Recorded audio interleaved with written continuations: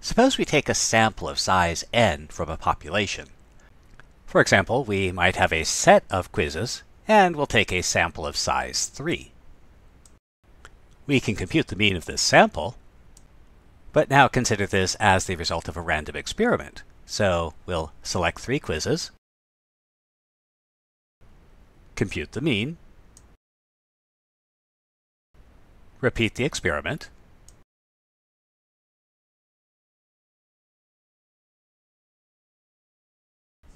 the mean of our data values is random.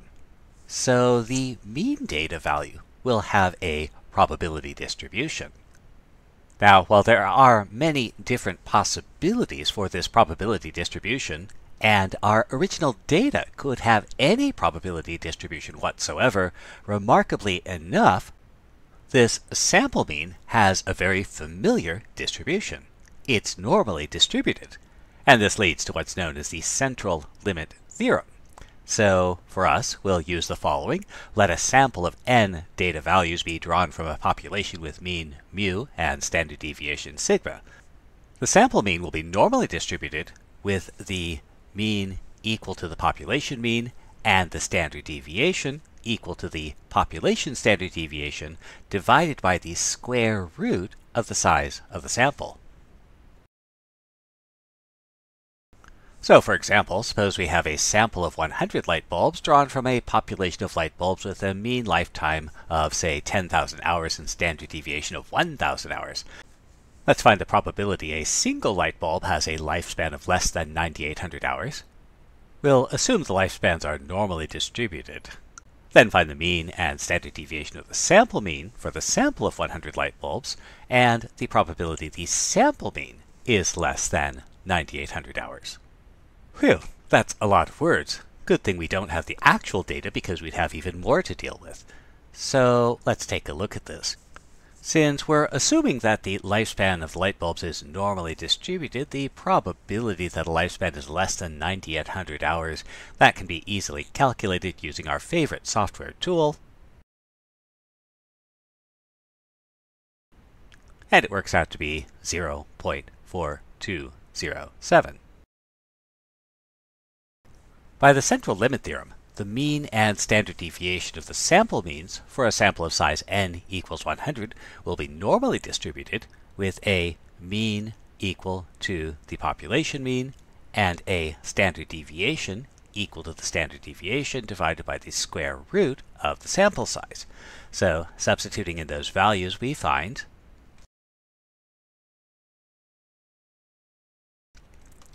and so the sample mean will be normally distributed with a mean of 10,000 and a standard deviation of 100. And so we can find the probability that our sample mean is less than 9800, which will be And note that while the probability a single light bulb has a lifespan of less than 9800 hours is rather high, the probability that our sample of 100 will have a mean of 9800 hours or less is much lower. How does this relate to the fundamental problem of statistics? Given information about a sample, infer information about the population. So the central limit theorem allows us to compute the probability a sample mean is close to the population mean. So can we use this to find the probability the sample mean is close to the population mean? No. But we can use the central limit theorem to form what we call a confidence interval. To understand confidence intervals, consider the following problem. Suppose you're six feet away from somebody. How far are they from you? And the answer is six feet. And this leads to the following idea. Suppose we find the sample mean and, for now, assume we have the population standard deviation but don't know the population mean. If the population mean is in fact much greater or much smaller than the sample mean, the probability of obtaining the sample mean we found is very low. But if the population mean is close to the sample mean, the probability of obtaining the observed sample mean is much greater. So we want to choose a confidence level. To understand confidence levels, consider the following. Suppose you want to be more confident a job will be done by an end date. What end date gives you more confidence? The job will be finished by tomorrow, or the job will be finished by next year. To be more confident, use a larger interval. Suppose we want to find a C percent confidence interval. We can find an interval that includes C percent of the values.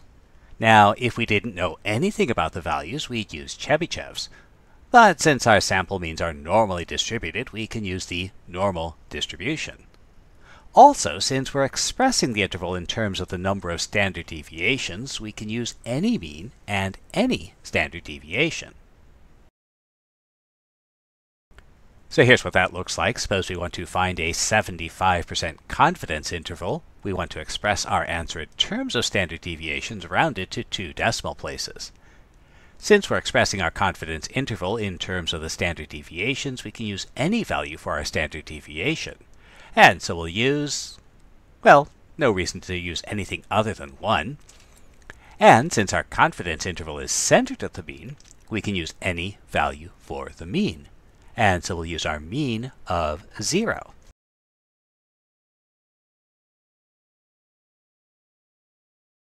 So using a standard deviation of 1 and a mean of 0, we find the probability of being within one standard deviation of the mean is 68%. which, since we're looking for a 75% confidence interval, isn't high enough. So we'll widen our interval to, how about 1.5 standard deviations? And we find, which is too much. So we'll narrow our interval to, how about 1.1 standard deviations? And we get